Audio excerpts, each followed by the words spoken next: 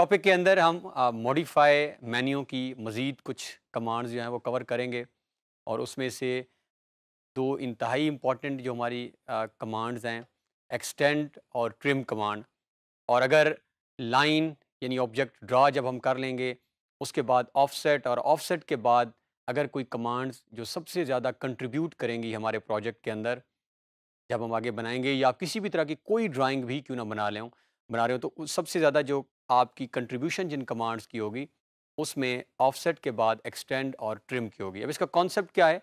नाम ही इनके बहुत सारे क्लैरिटी के साथ। अक्सर ट्रिमिंग का वर्ड हम सुनते हैं। ये ट्रिमिंग का वर्ड अक्सर पौधों में नज़र आता है, दरख्तों में। बाज़ माली भी ये टर्म इस्तेमाल कर रहे होते हैं कि आज हमने ट्रिमिंग करनी है इन दरख्तों की। ट्रिमिंग मीन्स कि जो एक्स्ट्रा पोर्शन नज़र आ रहे होते हैं फॉर एग्ज़ाम्पल हमारा कोई एक कोई भी चीज़ हमारे दरख्त बनाया हुआ है तो उसके जो एक्स्ट्रा पत्ते हैं किसी भी साइड पे तो उसको एक, उनके पास एक इक्विपमेंट कोई मौजूद होता है जिससे उसको वो काट देते हैं। तो ट्रिमिंग क्या होगा? कोई भी एक्स्ट्रा और अनवांटेड ऑब्जेक्ट जो हम नहीं चाहते, या सपोज़ हम दो लाइंस आपस में लगा रहे हैं लाइन लग चुकी हैं, लेकिन एक लाइन थोड़ी सी एक्सटेंड हो गई है या ज़्यादा लग गई है हमसे। यानी हम चाह रहे थे कि वो लाइन यहाँ एंड हो, लेकिन वो लाइन उसको क्रॉस कर गई है और उसका एक अनवांटेड अनडिज़ायर्ड जो पोर्शन हम नहीं चाहते कि ये हमारी ड्राइंग के अंदर नज़र ना आए तो उसको हम ट्रिम कर देंगे। यानी उसी तरह जिस तरह हम चाह रहे हैं कि हमारा और ट्रिमिंग करती क्या है? ऑब्जेक्ट को, उसकी क्लैरिटी और उसकी विजिबिलिटी और उसका पर्पस जो हम चाह रहे हैं वो और ज़्यादा अच्छा अचीव हो जाता है। जब दरख्तों को भी अक्सर आप देखें ट्रिमिंग के बाद वो बहुत प्यारे नज़र आ रहे होते हैं तो उसका एक्स्ट्रा पोर्शन को हम कट कर देते हैं। इसी के साथ हमारे पास एक्सटेंड की बहुत ही इंपॉर्टेंट कमांड फॉर एग्ज़ाम्पल हम एक लाइन लगा रहे हैं।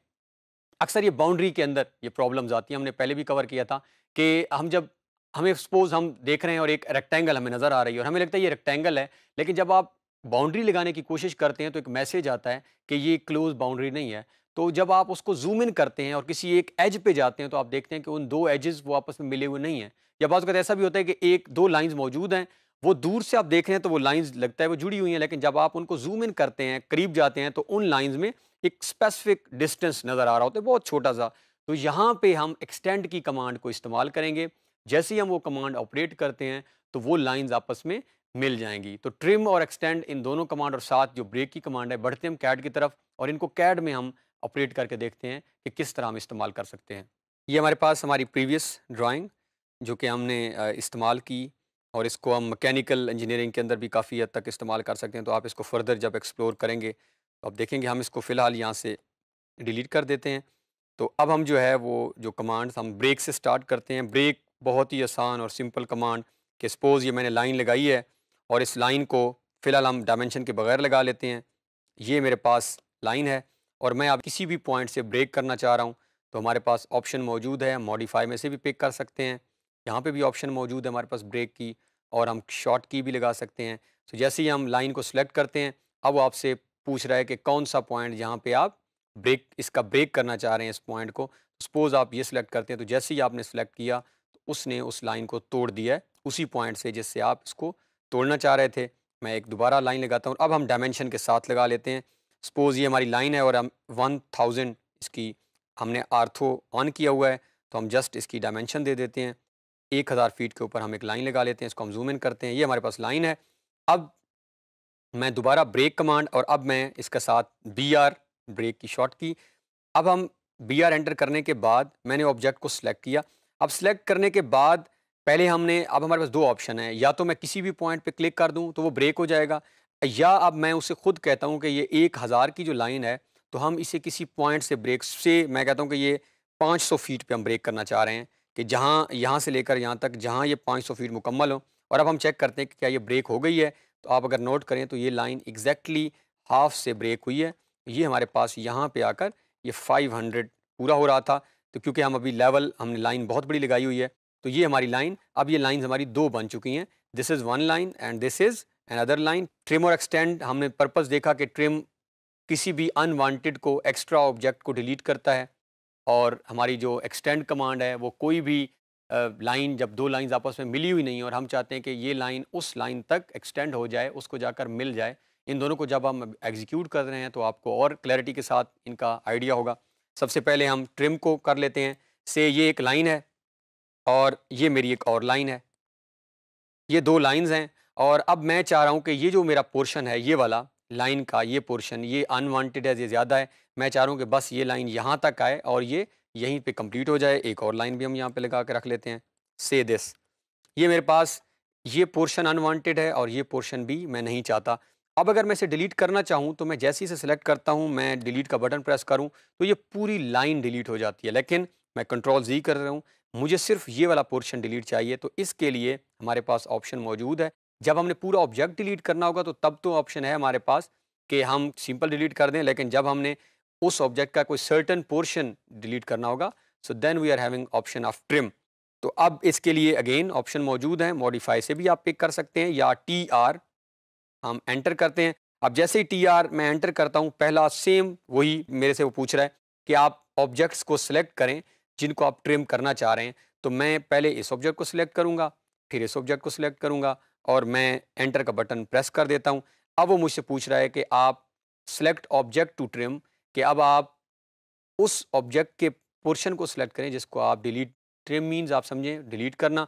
अब हम चाह रहे हैं कि ये वाली लाइन ना हो। जैसे ही आप इस लाइन पे क्लिक करेंगे तो वो लाइन खुद ब खुद डिलीट हो गई है। अब वो यहाँ पे नज़र नहीं आ रही। क्या किया हमने? दोबारा इस पर हम रिपीट कर लेते हैं।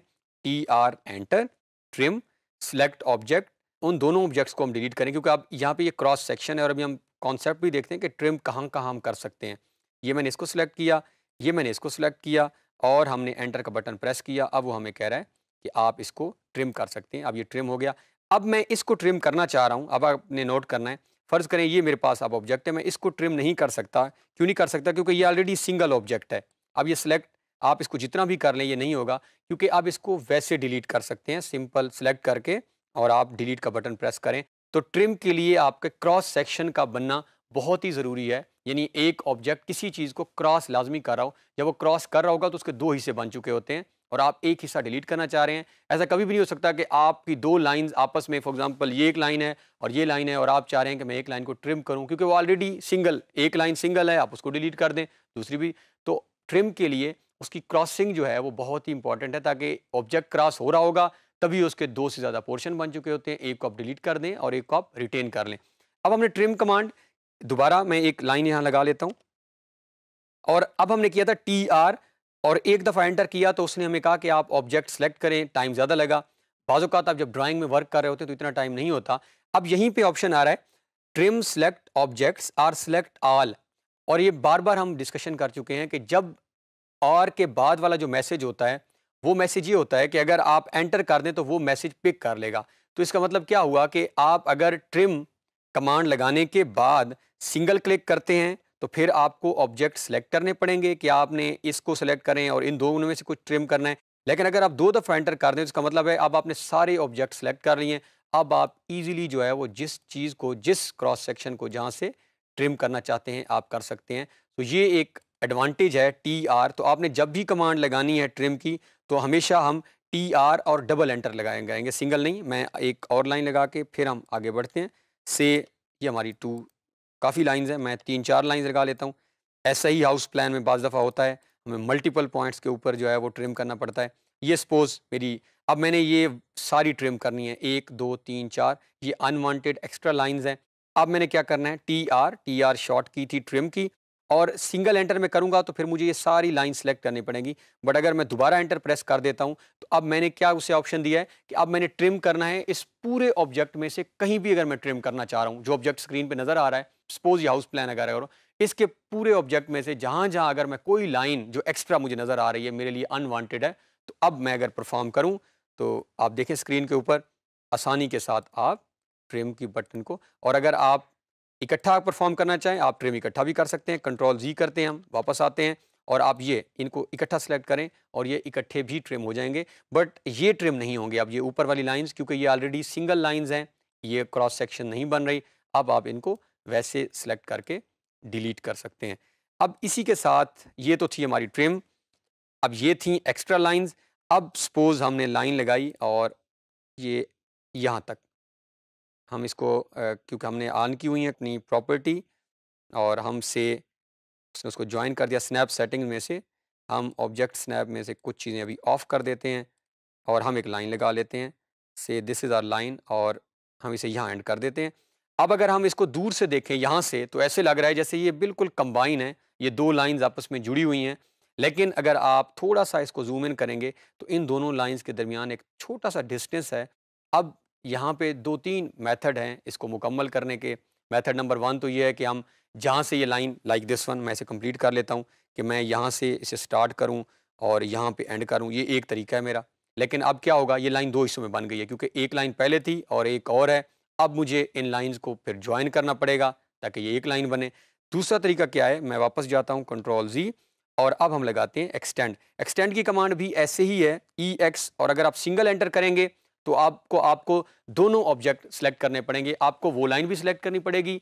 जिस जिस लाइन तक आप फॉर एग्ज़ाम्पल ये दो लाइंस हैं तो अब ये आपकी लाइन यहाँ तक है और आप इनको आपस में जोड़ना चाह रहे हैं। तो आपने पहले ये वाली लाइन सेलेक्ट कर लेनी है या ये वाली जो भी, आपने ये वाली लाइन सेलेक्ट करनी है और ये वाली भी दोनों लाइन जब सेलेक्ट करेंगे तो फिर आप कमांड लगाएँगे तो ये आपस में जाके जुड़ जाएगी। बट अगर आप डबल एंटर कर देंगे तो फिर आपको सिलेक्शन की ज़रूरत नहीं होगी। जिस तरह ट्रिम में नहीं थी, आप सिंपली डबल एंटर के बाद जो चीज़ को बढ़ाना चाह रहे हैं, वो खुद ब खुद एक्सटेंड होगी कैसे, ये ऑपरेट करके देखते हैं हम।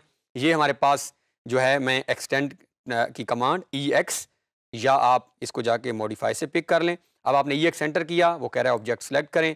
ये दो ऑब्जेक्ट्स हैं, ये मैंने सेलेक्ट किए और हम एंटर का बटन प्रेस करते हैं। अब वो कह रहा है कि आप उस ऑब्जेक्ट पे क्लिक करें, जिसको आप एक्सटेंड करना चाह रहे हैं। तो मैंने जैसे ही क्लिक की, आप नोट करें, वो एक्सटेंड होके लाइन मिल चुकी है। बट हम कंट्रोल जेड करके वापस आते हैं और अब हम एक्सटेंड की कमांड लगाते हैं ई एक्स डबल एंटर अब डबल एंटर के बाद जैसे मैंने लाइन के ऊपर क्लिक किया, खुद ब खुद लाइन आपस में मिल चुकी है। तो इस तरह आप डबल एंटर के साथ यानी डबल एंटर मीन्स आपने पूरा ऑब्जेक्ट सेलेक्ट कर लिया, उसके अंदर कहीं से भी आप एक्सटेंड का फ़ंक्शन परफॉर्म करना चाह रहे हैं, आप कर सकते हैं।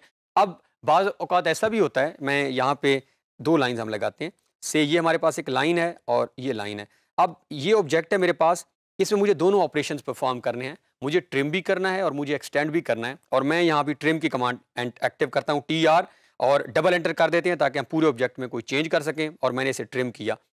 ये ट्रिम हो जाएगा पोर्शन अब मैं इस पोर्शन को एक्सटेंड करना चाह रहा हूँ तो ज़रूरी नहीं कि मैं इस कमांड को दोबारा इनएक्टिव करके और दोबारा एक्सटेंड की कमांड आप शिफ्ट का बटन प्रेस करें और यहाँ पे आप क्लिक करें तो ये कमांड आपकी खुद ब खुद एग्जीक्यूट हो जाएगी। तो इनका आपस में ताल्लुक क्या है ट्रिम और एक्सटेंड का? कि आप अगर एक कमांड के अंदर वर्क कर रहे हैं और आप शिफ्ट का बटन प्रेस कर दें तो दूसरी कमांड खुद ब खुद आपकी एक्टिव हो जाती है और आप इजीली एक्सटेंड कर सकते हैं। एक्सटेंड का रूल क्या है कि लाइन को जिस सिमत में आप बढ़ाना चाह रहे हैं, आगे कोई ऑब्जेक्ट का होना बहुत ज़रूरी है।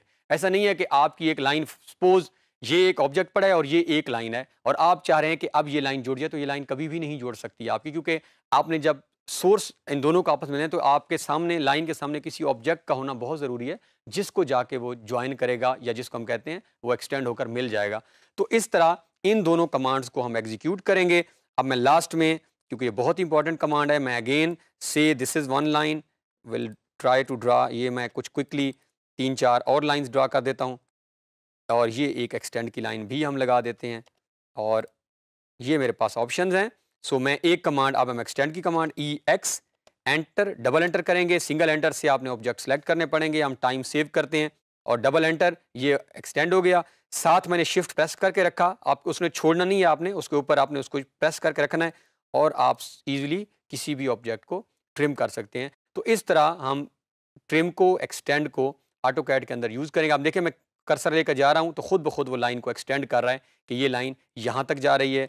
तो इस तरह आप इन कमांड्स को ऑटो कैड के अंदर, आप मज़ीद आप इनकी प्रैक्टिस करें, इसी कैड के ऊपर ड्राइंग के ऊपर, ताकि प्रोजेक्ट पहुँचने से पहले हमारी ग्रिप जो है वो और मज़बूत हो चुकी हो। इस टॉपिक के अंदर हमने इंपॉर्टेंट कमांड्स जो है वो कवर की हैं ट्रिम और एक्सटेंड और हमने देखा कि किस तरह हमने ट्रिम और एक्सटेंड कमांड का रिलेशन भी देख लिया कि एक कमांड एक्टिव है तो शिफ्ट का बटन प्रेस करने के साथ दूसरी कमांड भी हमारी एक्टिव थी, और हमने देखा कि किस तरह हमारा बहुत सारा टाइम सेव हो सकता है इन कमांड्स को इस्तेमाल करते हुए। आई होप कि जब हम प्रोजेक्ट में इनको जाके इस्तेमाल करेंगे, हमारी स्पीड में बढ़ चुकी होगी पेस बढ़ चुकी होगी और हम बहुत क्विकली अपने प्रोजेक्ट को कंप्लीट कर लेंगे।